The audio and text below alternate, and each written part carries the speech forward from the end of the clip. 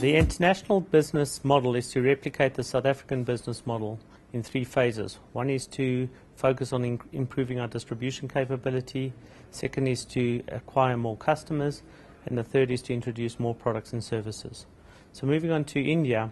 India's focus is we've transitioned our platform into be a far more aggressive financial services platform, focusing on the traditional products like airtime, bill payments, and so forth, but really introducing two additional products, one being acquiring and the other being money transfers. Um, the, the remittance market in India is about a $90 billion market, of which $20 billion is domestic remittances and about $70 billion being international remittances.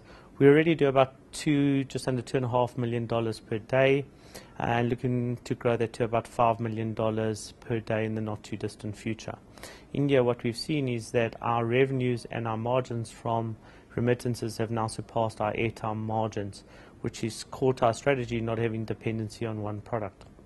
In Mexico, our network is still growing uh, tremendously. We have over 90,000 points of, uh, of, devices deployed and growing steadily. We do similar to the likes of uh, India, where we distribute airtime, uh, bill payments, and so forth. But what we've introduced now is we've signed up a deal with both Banamex and Visa and converting our devices into doing POS acquiring for both debit and credit cards. And hopefully, in the not too distant future, having the ability to distribute SIM cards like South Africa and earn some form of annuity income. Um, as far as our mobile solution segment goes, which houses our SMS aggregator called Cellfind, which are a WASP and location based service provider, we're currently doing just under 200 million SMSs a month um, and that's growing. What we're seeing out of SMS is that still we have a 98% delivery rate. Uh, people use a lot of SMSs, and of people receiving SMSs, uh, 80% open their SMSs within three minutes. What's important about SMSing versus instant messaging, the sender pays also. The, the, the consumer is not required to have data, so it allows people to have constant communication with their customer base.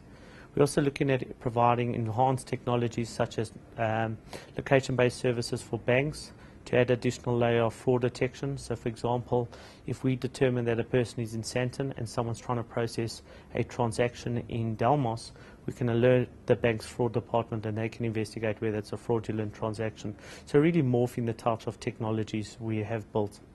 We have an immense database, about 55 million customers on it. We provide 12 contact uh, call centers with uh, leads and database updates. We provide 20 million uh, database updates to the credit bureaus every quarter. So we look forward to actually increasing uh, our data and what, by doing that, what we do is we encourage and retain our customers. We acquired a, com a, a company called Viamedia. Via Media is a content provider and what's important in our world with content, well, as we are, as far as we are concerned, data is infinite. Voice will sooner or later get to a point where, no matter how cheap voice is, you cannot talk for more than the hours in a day.